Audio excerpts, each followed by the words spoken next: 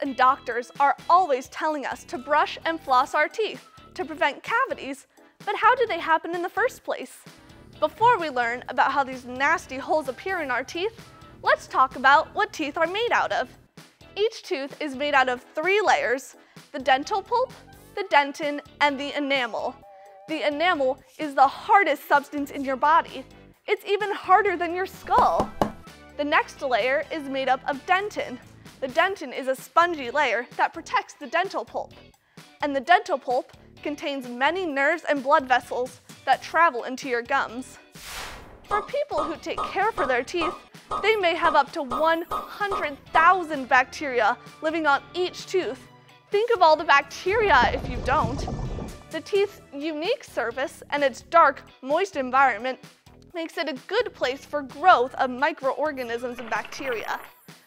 Cavities are caused by sugary foods that overexcite a bacteria called Streptococcus mutans, which becomes acid. If you eat too much food containing sugars, this overexcited active bacteria sticks to your teeth, and the powerful acids begin to destroy the enamel, the hardest substance in your body. After a while, very small holes form in your teeth. This process is called tooth decay.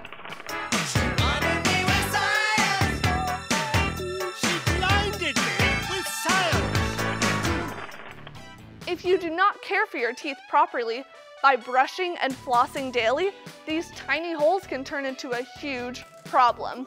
Your seemingly miniature holes will grow large enough to break through the dentin and into the dental pulp.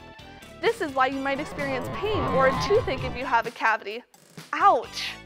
It is very important that you take care of your teeth because fillings can be uncomfortable and expensive.